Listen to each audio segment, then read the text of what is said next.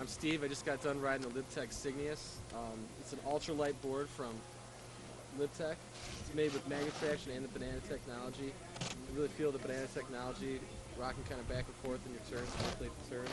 Um, it's pretty much a go anywhere kind of board. It's pretty expensive, but it's worth it.